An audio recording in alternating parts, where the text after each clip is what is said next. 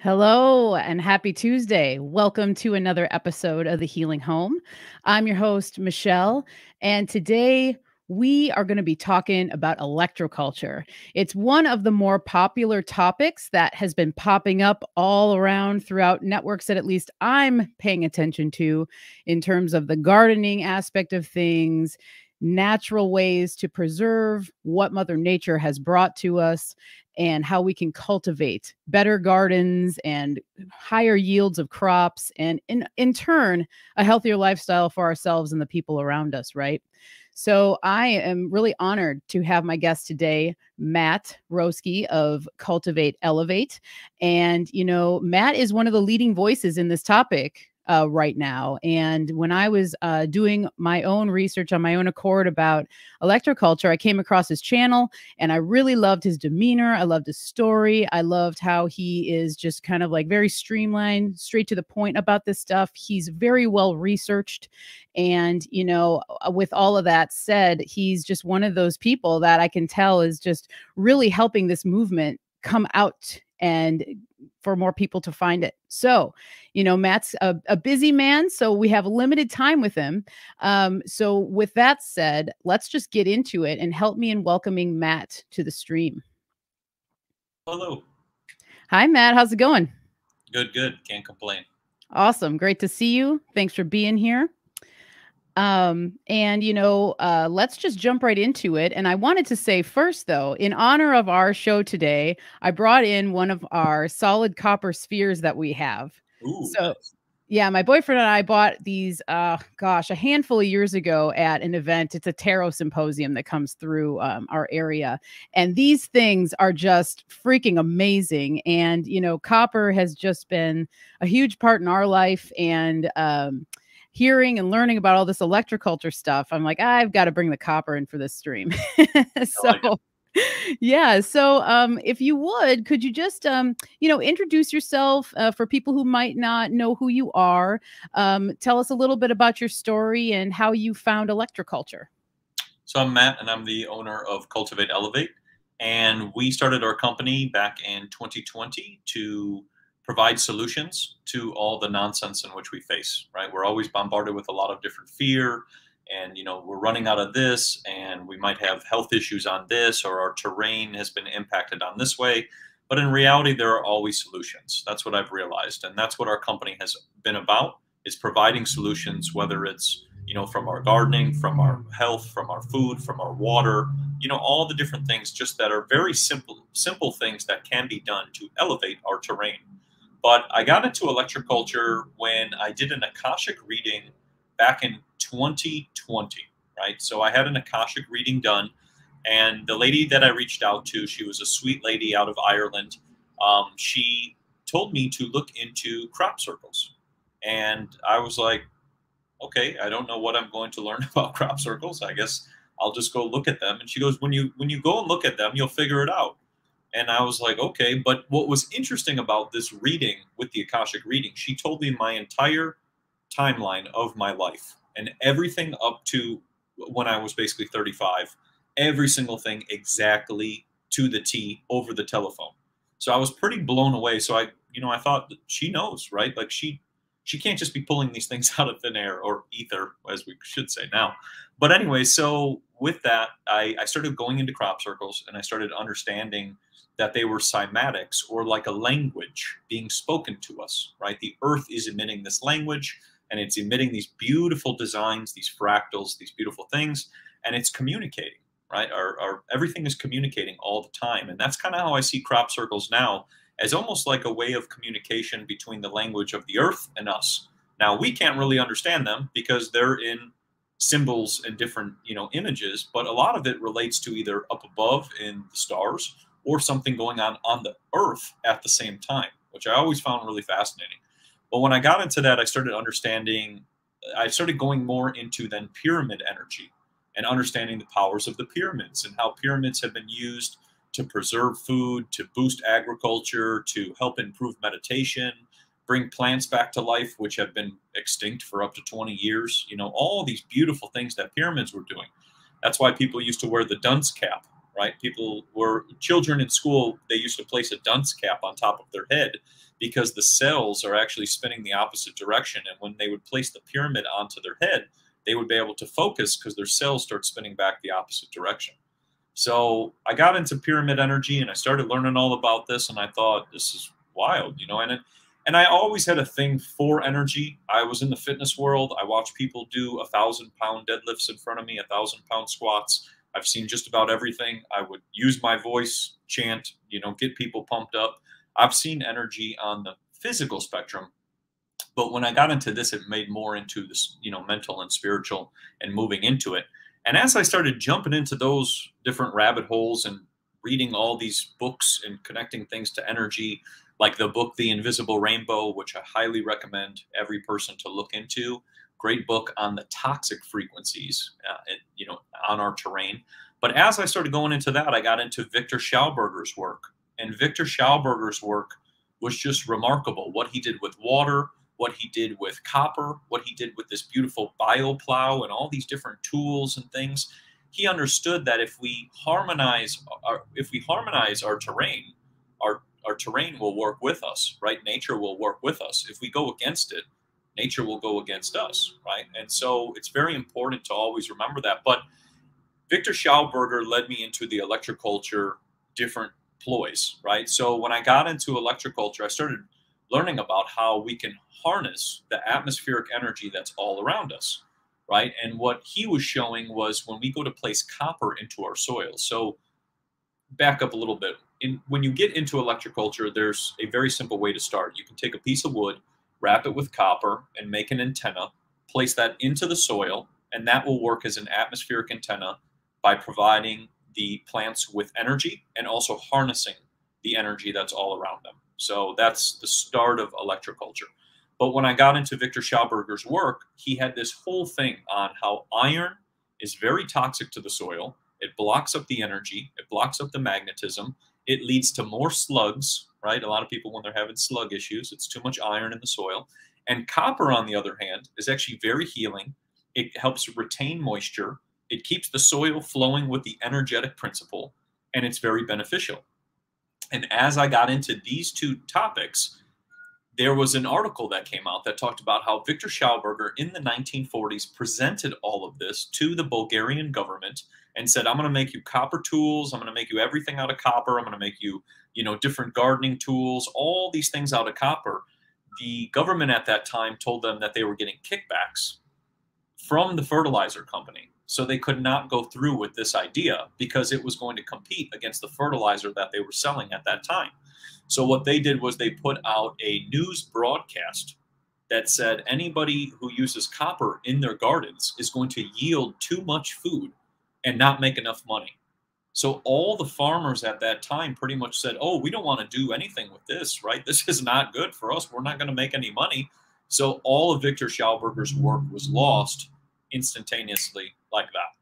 And that whole thing just changed my world. And when I read that one part, that's kind of when I started trying it, right? So what I did was I took a piece of wood and I took some copper and I just stuck an antenna into into my moringa pot on my balcony.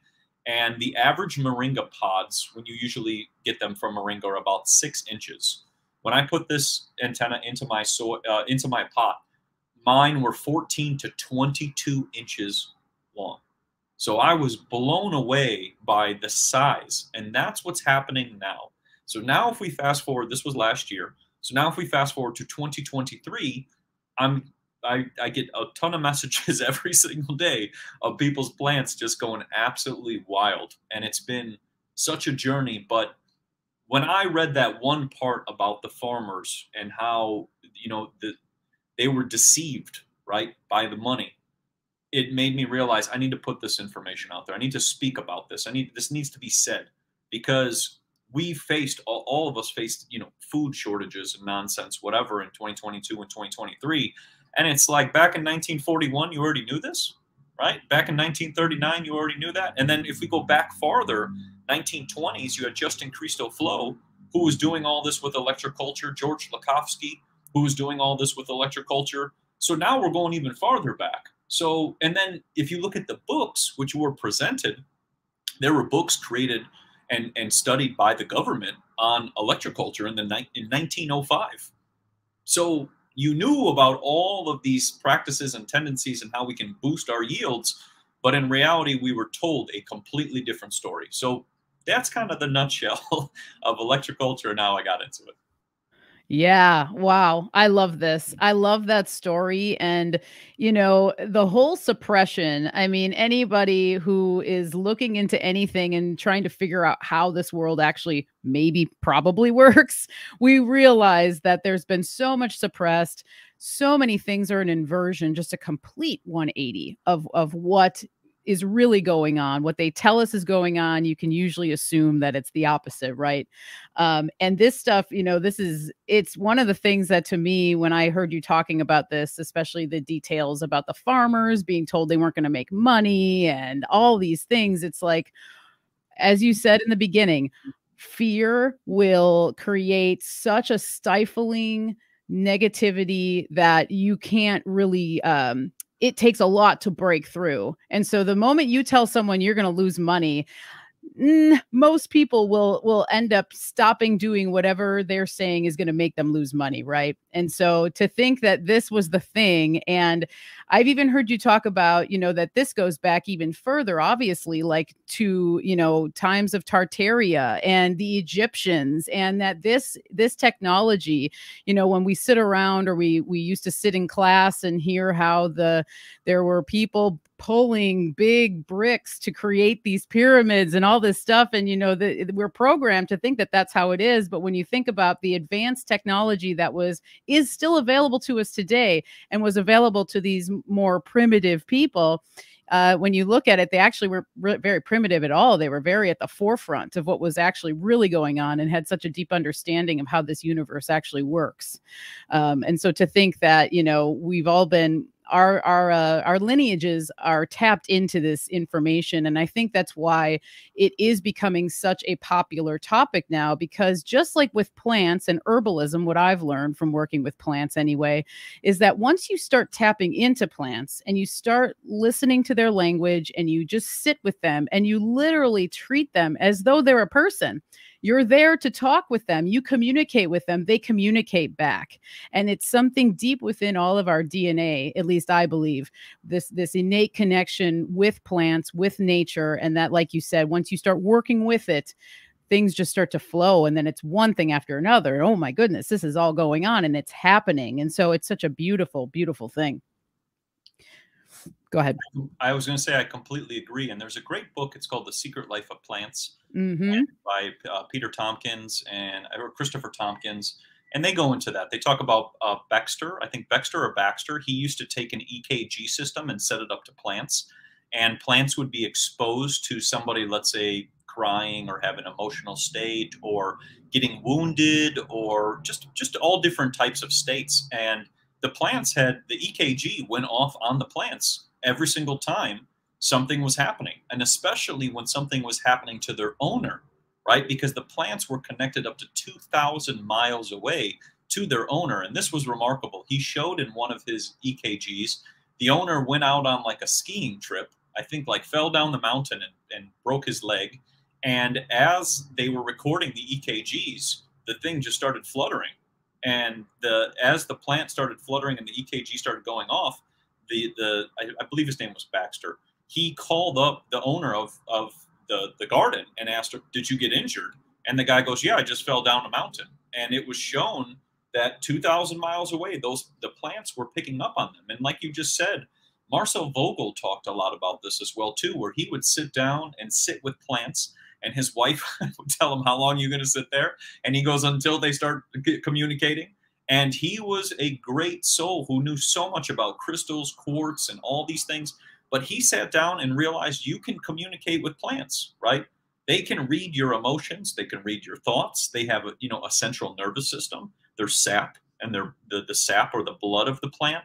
These are all like you said things that we used to be connected to but through our educational system, things just became trees, right? And it just became a species and it just became, you know, this is XYZ. But in reality, we're not out there connecting with the trees, connecting with these, you know, beautiful trees and plants and, and understanding how much life force is there. And what I started to realize with the electroculture movement, which is going on, is we're supporting that. We're supporting the trees, the electrical conductivity of the plants, the electrical conductivity of the earth, right? Because when they're placing all this iron into the soil and all this iron into everything, they're gunking it all up. They're blocking the life force. And then the plants can't, their root system gets all blocked up and then things cannot move. But when we start bringing back in the copper and the electroculture and, and quartz and crystals, and as you showed me that little copper ball, you know, all these different things, we can be bringing back antennas from the past, right? Like you just mm-hmm. said about the Tartaria. Now we're going into old world buildings, which used to be just covered with antennas, right? What was the first thing they removed off all these old world cathedrals and buildings? The antennas. Why? Because those antennas can harness the atmospheric energy and also provide people with free energy, right? And that's, I think, the big kicker of all of this in which we're leading is not only we taking back our food and then also taking back our water, but we're also moving into a path where we can take back our energy and have our own energy for free rather than this meter system and all this goofy stuff that we've been faced with for the last 100 years. Yes, entirely true. And, you know, one of the things too with the energy thing, um, the dependency that we all have on it. And clearly here we are at screens and, you know, we have, you know, we're using them and that and all of those things. So I'm grateful for it, but at the same time, it's like you it's all about boundaries. You know, you have to have boundaries with within your life in general. And I think the whole idea of having to be plugged into something, you know, and then dependent upon a company to truck in this electricity from wires and what have you. And you know most people who are uh, you know sensitive enough or even if you're not sensitive enough you know you drive past these you know we live in the columbia gorge so there's a there's a dams you know throughout the gorge and there's a pretty large one that's you know it's it's far enough from us where it's not affecting us but when you drive through that area just the you know the buzz that's in the air from all of this stuff. And to me it just it even just looks it doesn't look as human as free energy would but with something like electroculture or something as welcoming as like an, a nice eh, copper antenna versus what you see these monstrosities of just big old you know metal uh you know, kind of almost skyscraper esque sort of formations where our electricity is pumped through. And it's all about control, you know, and taking people's power away. And that's one of the things that is just so glorious about the electroculture and seeing all these people, you know, people I know, uh, people just online, people I've seen through you who are just, they're implementing it. They're just going, okay, cool. I can go to the hardware store. I can buy this copper. There's sticks everywhere.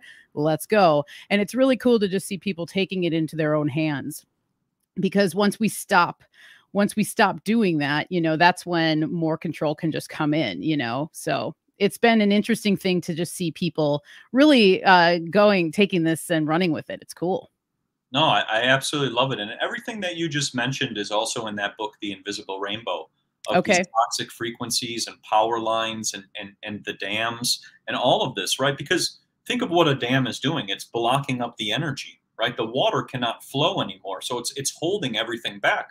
And water is always flowing, right? Every creek, every river you see is always flowing.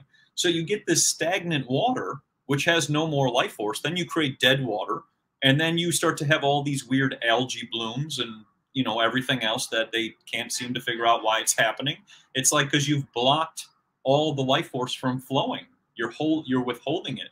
And then when you go into, like you said, even those power lines and those things, right now you're cooking the top of the head. A lot of people get a lot of static. That's why a lot of people start losing a lot of hair on top of their scalp. Because when they're using, for example, maybe like a plastic comb all the time or rubbing plastic on the scalp, they're creating static up there. And then if you combine it with, like you just said, those power lines, now you have an abundance of static on here, and that can impact the hairline and then also the brain. And I've realized with this electroculture movement as it's been going, the coolest part is that, like you said, the creativity, right? Finding copper, finding quartz, finding different things. And then I even had a friend, uh, she took a voltage meter and was showing everybody how many volts she's getting.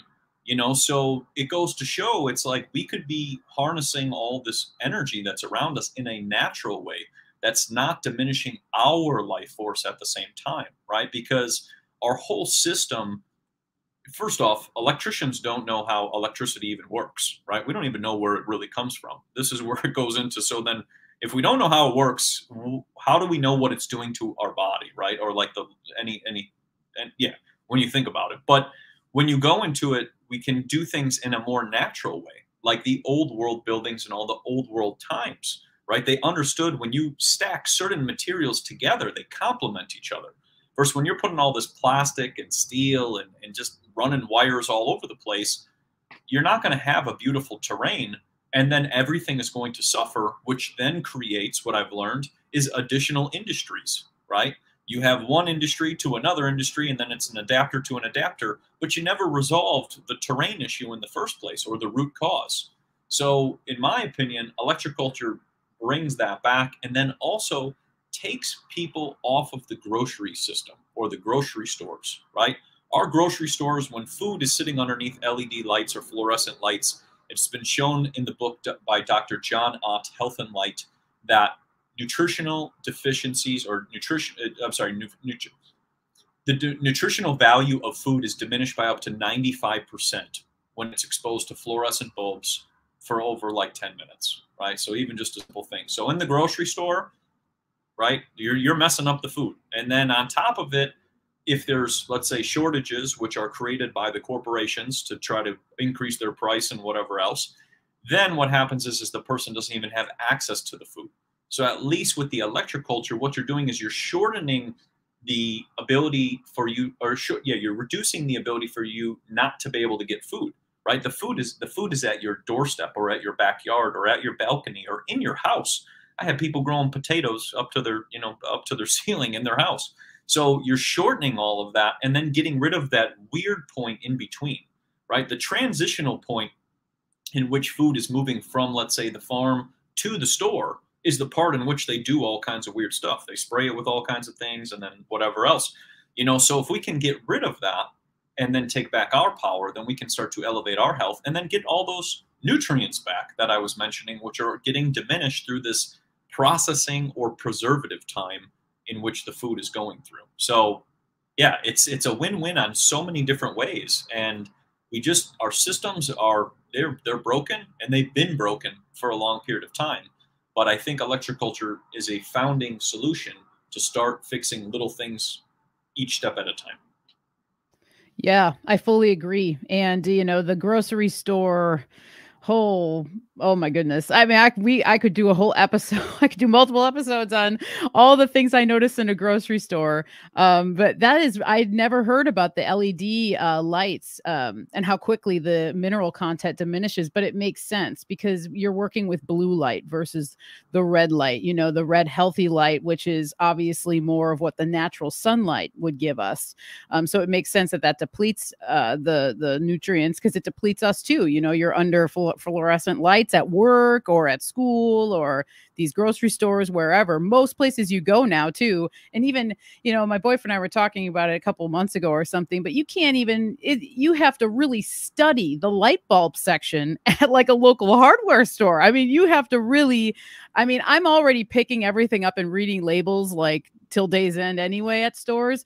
But with light bulbs, I was like, oh my God, can I just get a regular light bulb like that isn't LED? And you have to really read the fine print even on these light bulbs because most all of them are LED lights. And um, it's just, it's so wild to me how that goes. And I think too, what's what's cool, and I think what will happen with the electric culture, because one thing I observe in grocery stores is how people, it's like a mindless drone sort of thing. And so everything in there kind of allows you to go into drone mode. The lights, the crappy music, the straight lines of the aisle. You know what I mean? You're not really, I don't know. I think mm-hmm. most people are really checked out when they're there. Yeah. And the amount of people I just like see just tossing their food into the cart, kind of like, okay, I got a bag of salad, toss it in. I got this. And they're just like literally throwing it in. And I just think to myself, you know, uh, there's no real genuine love connection there. Um, if you're literally just throwing it in, it's like that's what you're going to be eating. You're putting that in your body. So that already that intention of you just kind of grabbing it, well, I have to get food, and you're just like kind of piling it in. And then people do the same thing. They just pile it in their mouths and then they don't think about it or what have you. And so I think um, seeing more people doing uh, this electroculture stuff and then realizing that they can produce food for themselves and their family, I think um, it, leading by example is always the best thing to do. And so I, I always try really hard to just do that in my own life because I think that the more and more people that do this, there's going to be more and more people that may have never even considered gardening they might think this is like wow really? I have to try it just to just to see if it works you know? And then if it works for them which it probably will that being a motivating factor like you know just bar none. So it's it's really cool. I mean i i'm pumped on it. And to me too it's so cool that this has been around for so long and it's interesting how things in our lives go like that you know? There's this ebb and flow where things come back into popularity and then they go out again um, because I first uh, came across uh, the concept of electroculture, I don't know, maybe like seven years ago or something in this book I have. It's just called Old Time Gardening Wisdom. And it's this man who goes through all of the methods that his grandmother used to use. It's by Jerry Baker. And it's a great book. And he talks about electroculture and he oh, talks wow. about how his grandmother used to incorporate this. And as he was a little boy, you know, she he said that she would even put, you know, bicycle spokes or you know she would just have all these little trinkets that she would have and he didn't understand what it was. And then she explained it to him in in a way that a grandma would explain it to a, a grandson and he writes about that. And i remember my mind was kind of blown at that concept thinking oh my goodness like what? I've never heard of this. And then now to see it just you know being re- revitalized is very cool. Well, very very cool. and i think like you said is we've we've we've forgotten those things right people used to take a penny and throw it in the bouquet, you know, at a wedding, so that the plant would stand up the whole time throughout the when they would hold it through the wedding. Ah. Right? With the copper situation, you know, we can go back into time. Everybody used to have copper watering cans. That used to be the thing. Remember, everybody had a copper watering can, and then it had a curved spout, which was very important because it keeps the structure of the water as it's pouring. You know, so copper was used so much. And then you have copper gardening tools right? That used to be very popular till the iron thing took over. And what I've started to realize is, is a lot of this information, like you just said, was lost because of the resets of World War One and World War Two, right? When a lot of people were lost and a lot of information was removed from society during that time, a lot of this information or these practices were lost. And it was interesting because when I got into electroculture too, there was one book by Justin Christofleau, which I believe he wrote in like 1910 but the only copy was uploaded in an Australian library, the PDF, and that's pretty much it. There, I haven't seen many other copies of that book, but if someone didn't upload that copy into a library and then it go on to, let's say, the internet, and we're all communicating now, a lot of his work was completely lost because all of the Google patents or patents which used to be listed on Google have a lot of them were all taken off, right? When they had the 1951 Invention Secrecy Act due to national security, right? They would hide certain uh, inventions because of the fact that they're, you know, a national threat. But those could also be his apparatuses and other things related to using copper, free energy, all these beautiful things in which we can be doing. But yeah, with the with the electroculture, it just made me realize like a lot of this stuff was done in the past. And if we go back even a little bit farther, you go 1880s and then let's say uh, 1850s, a lot of the the the cathedrals, the mosques, the temples, the churches, they have atmospheric antennas on top of them that are usually connected to a piece of copper wire that runs down into the garden, which is next to them.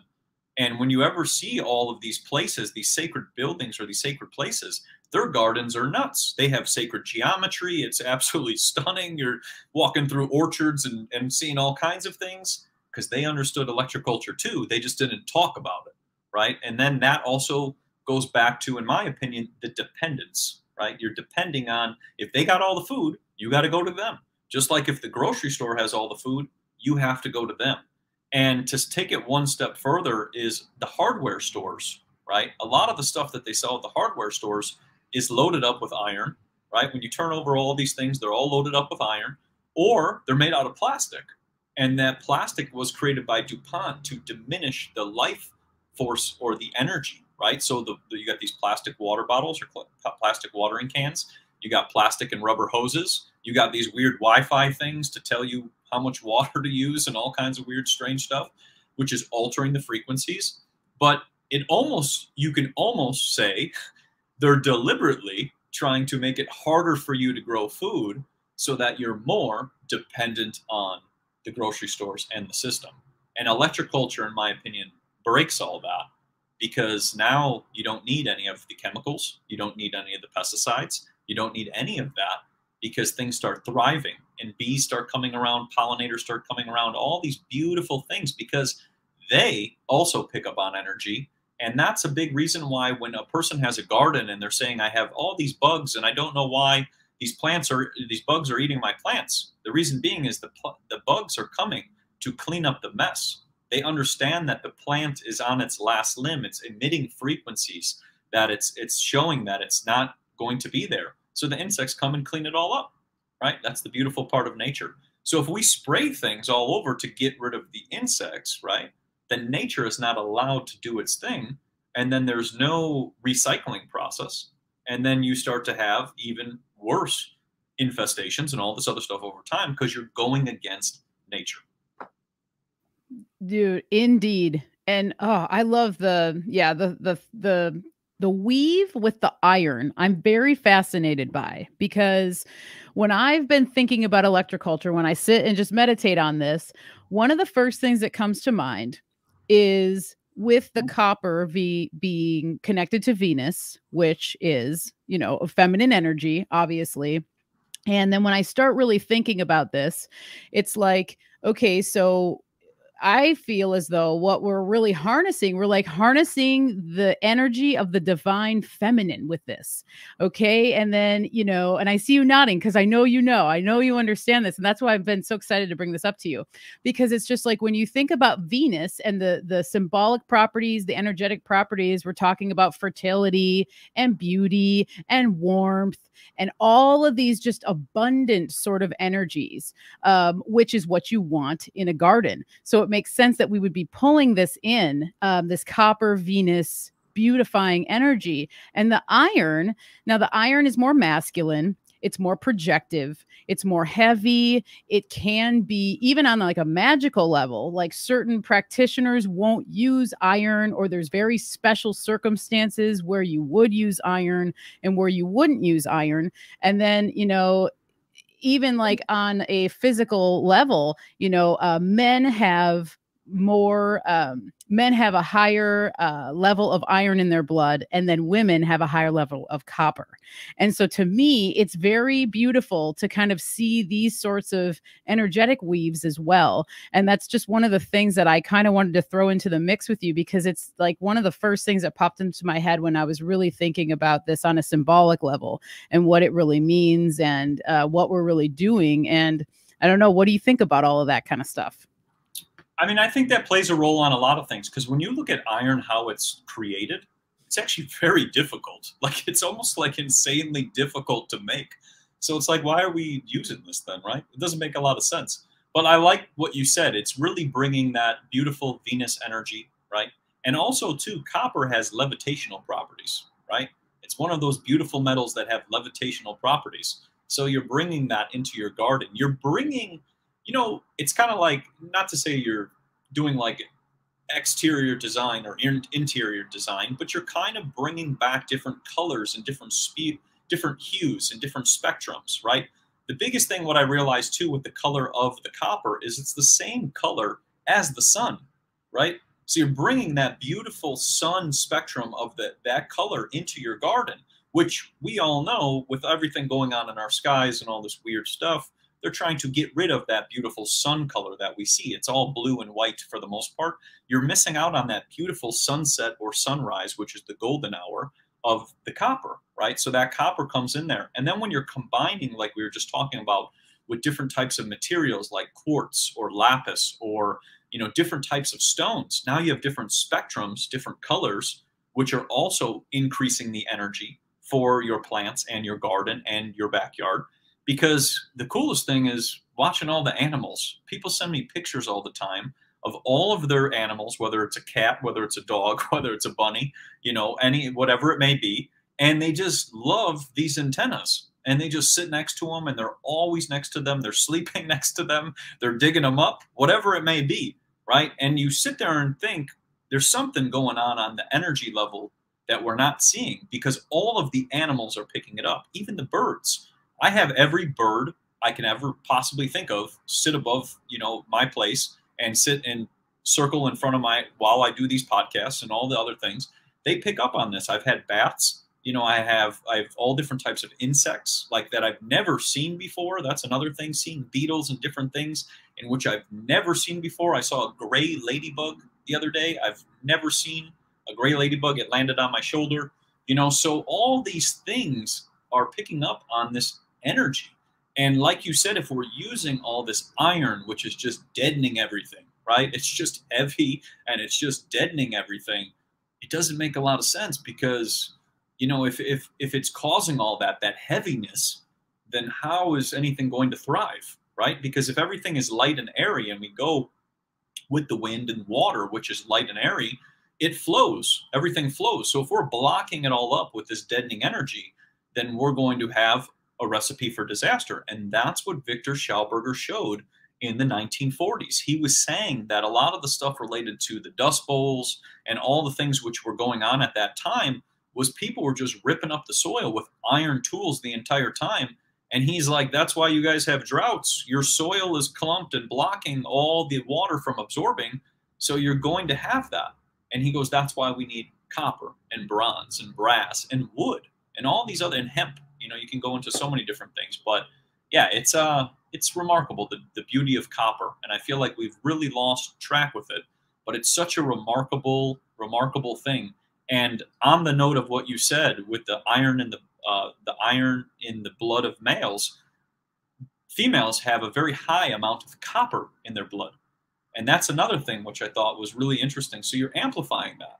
You're you're you're amplifying the the beautiful properties of the body, and then when we're using electrical electroculture, we're also amplifying the beautiful properties of plants.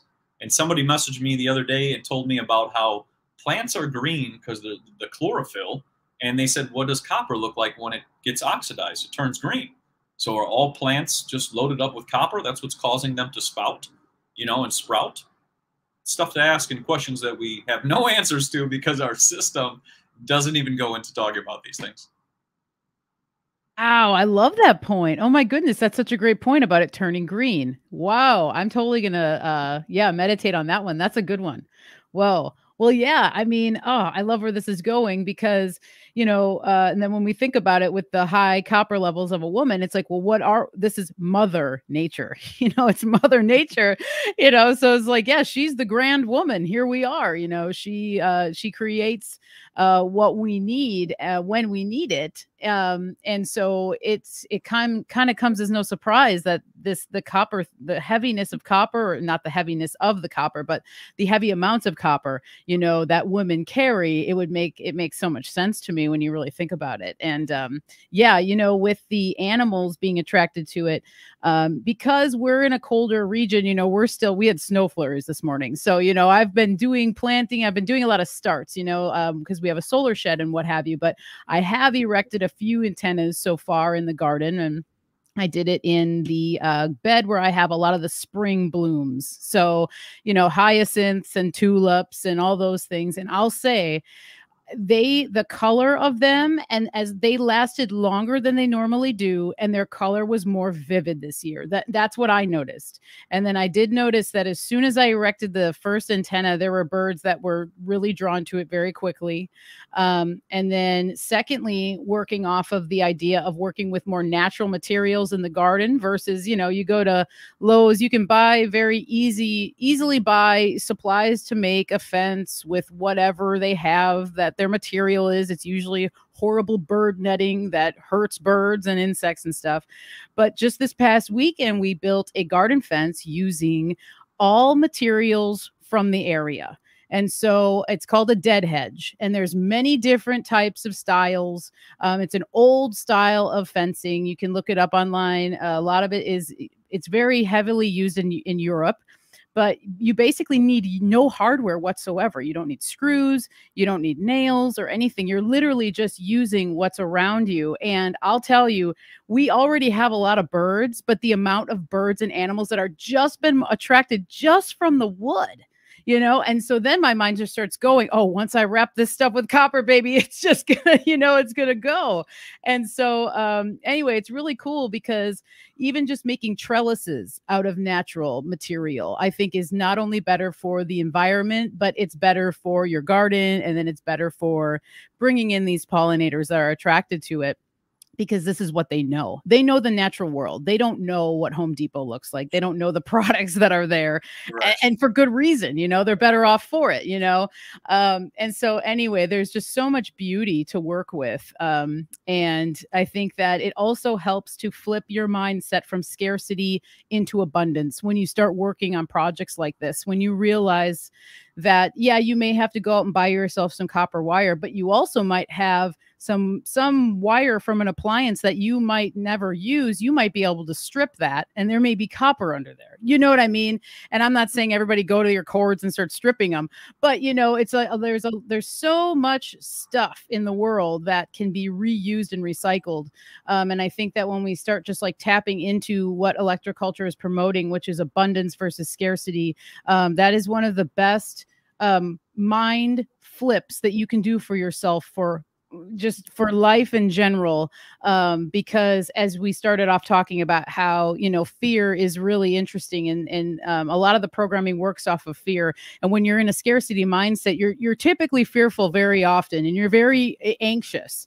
And when you're in a scarcity mindset you have a hard time focusing you have a hard time just honing in on what's going on making good decisions using critical thought um, and so anyway, I know I've I've heard you talk about this as well, but I just think that um I just love this flip that is going to be naturally happening for the people that are ready to tap into it. Electroculture can be a way for them to actually start to change their mindset, which will change their life ultimately, really. Well, and I, I completely agree with you. And, and also, like you said, you're using what's around you. You know, even when I was talking about creating these antennas, you know, I've explained when people are creating antennas, go back into your go into your backyard. Pick up wood that's in your backyard that is already in your backyard because it resonates at the same frequency as you. And it's interesting because I was reading a book the other day and they were talking about how there's a thing called wood waves, which are the low emitting frequency that come off the wood, right? So if you think about it, if you created that entire fencing system based out of wood with no weird things in it, right? You just used wood. Think of the waves that are coming off of that fencing at, let's say, about two, uh, two hertz. I think it's one, 1.6 hertz, which is uh, phi or phi, whatever that is. So, you know, 1.6 hertz that are coming off the wood, right? So now if you're stacking them on top of each other, what are you then creating? The piezoelectric effect that we learned about in, in school. So now you're amplifying that field. And then, like you said, all these birds and everything start picking up on that. They know where to go, right? Philip Callahan, in his one book, explained if you're ever hungry, just follow the animals. They'll know exactly where to go. You know, the birds, they know exactly where the food is. Just follow them. You know, and, and that's the thing is as we do all this and we implement all of these things, we're we're balancing out our terrain and then also assisting nature. You know, Mother Nature needs help, right? Like we can't just expect these people who want to save us are not about saving us that's for sure. It's uh, quite the opposite you know? So mother nature needs its help and we have to do it at our in my opinion the grassroots level.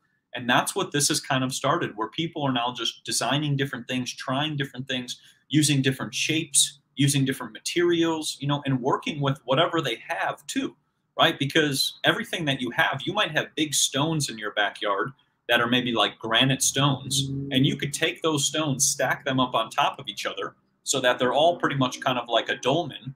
That's what they used to do with the Druids. But the, the dolmens, and that will amplify the energy fields of the backyard just by simply stacking the stones on top of each other. So we can be using all these natural or materials from nature, right? Not all these weird plastics. Because when I started researching and understanding plastics, I started realizing that they block the ether, which is interesting. So if we're putting all this weird plastic all over, you're blocking the ability for the energy to flow. Versus when you're using wood and stone and everything that's in your backyard, the energy can flow right through it and then flow right around it using copper as well too. So yeah, there's endless possibilities with this. And I think it just opens up the doors into so many more things. And with the amount of messages that I receive and the amount of things that are occurring, it's just going to, yeah, it's going to change things. I even had a buddy who told me he's now a frequency farmer and he does farming with frequencies, you know, and he's all about it. So think of that. If we start using frequencies like bird sounds and all these beautiful classical music, Beethoven, Bach, all those things, think of how much more we can add. And that was shown in the book Dorothy Retallack, The Music of Sound and Plants. She showed all of that, that sounds can increase plant growth, right? So if we have all this this noise all around us, it's diminishing that.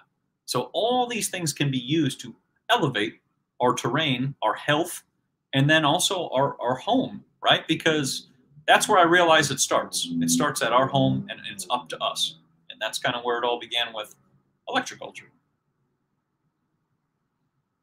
I, I love that. It all it all starts with the home and it all starts with us. It's like because you know, we are our own antennas. You know, we're all an antenna. And so what we put out, it gets picked up by whatever's around us. So if you're putting out negativity, you're putting out whatever the heck is going on, other people around you pick up on it, whether or not that person realizes it or you realize it or whatever, it is emitting this frequency. And I think too, like I just think about um, you know, if you're wearing copper jewelry even or you are gardening with copper um, you are you are then the electroculture antenna in your own garden walking through the world walking through the forest whatever you know you're bringing that in as well um, and so there's something very beautiful about that uh, um, and yeah I'm, I'm excited for all this stuff and it's it's really cool and so um, yeah i just uh I've been so honored to talk with you. And I feel like, yeah, we could probably talk and talk and talk, and there's so many points to be brought up. Um, but you know, um, I just want to give you a chance. Uh, the platform is yours now to um, you know let people know where they can find you.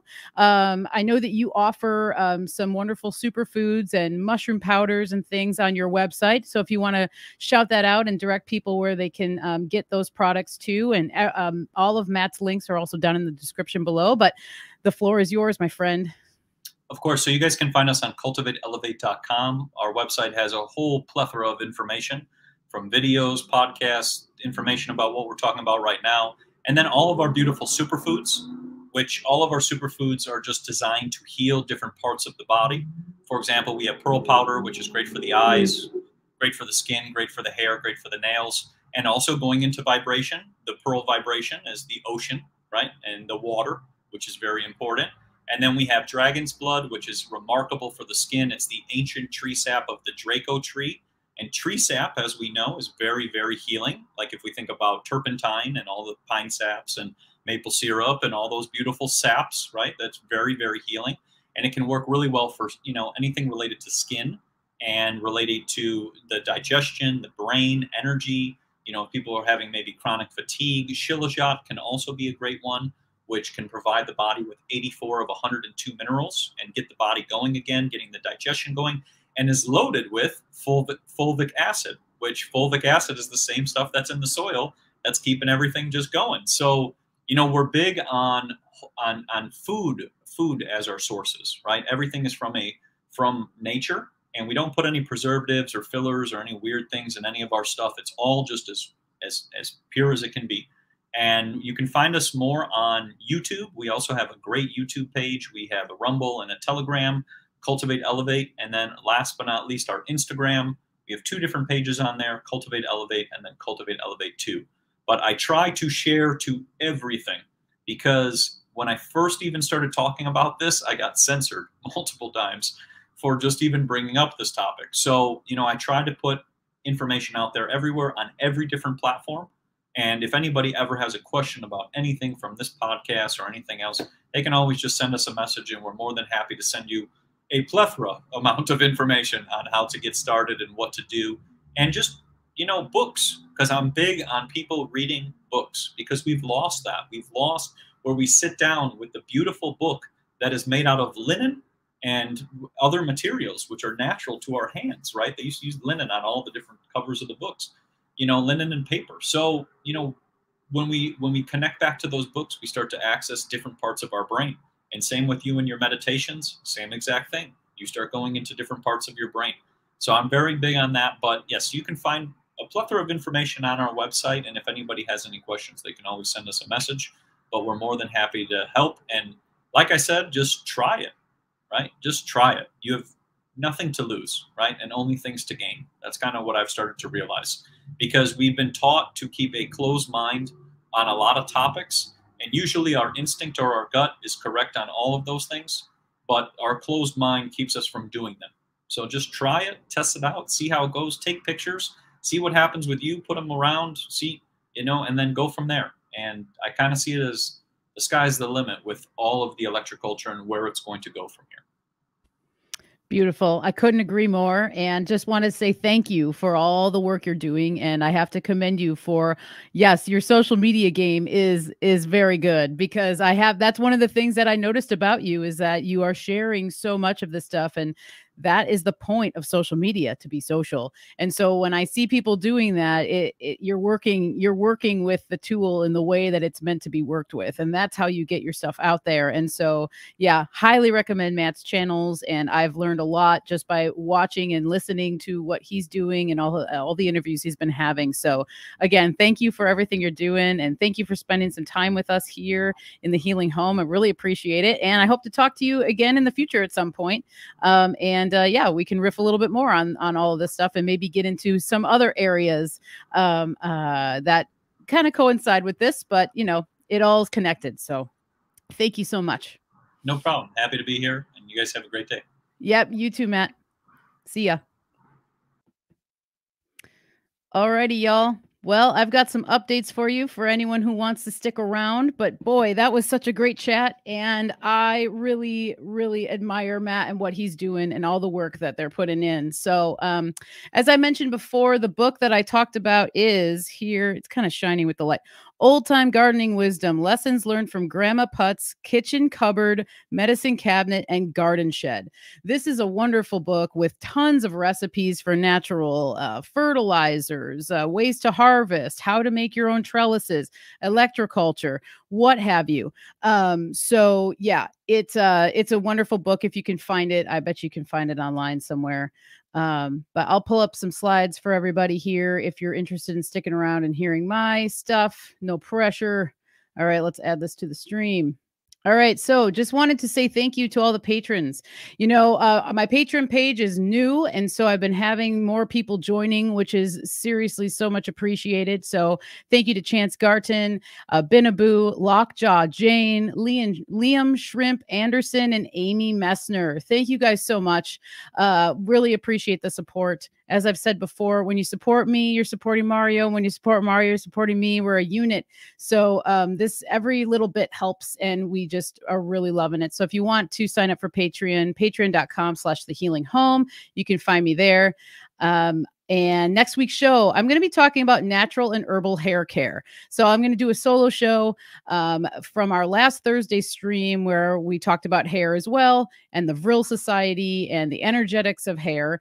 Um, I had a lot of questions come across, and I felt as though a lot of people were very interested in even learning what my hair care routine is. And over the years, I've formulated a few things that have really helped. And so I'm going to share all that stuff next week, uh, 425, uh, 4 p.m. at the Healing Home, same place, same time last Thursday, every Thursday with me and Mario. We'll have a new stream this week at 6 p.m. You can join us um, and see what we're going to get into. Um, and it'll be fun. It's been a really fun casual flow. So we've been really enjoying this new show together full moon offering newsletter. Um, the full moon offering, I am sold out of my shampoo bar, but I do have three bars of the red clay and shea soap available. So these will be around until the next full moon, which will be May 5th. So if you're interested in purchasing one of those bars of soap, let me know. Up on the screen is my current menu of what I have going on. Um, and as you can see, the red clay and shea soap is up there at top at the top.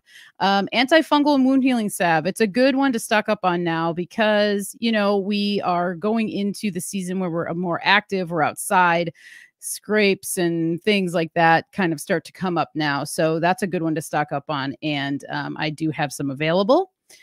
And for any other inquiries, Michelle's Healing Home at gmail.com. I don't have an online store, so I do all direct sales. So you can just contact me to do that. If you want to schedule a consultation, what have you, have a question, just reach out, michelleshealinghome.com for my blog, newsletter, uh, consultation information. You can also text me 503 568 1569 for anything else.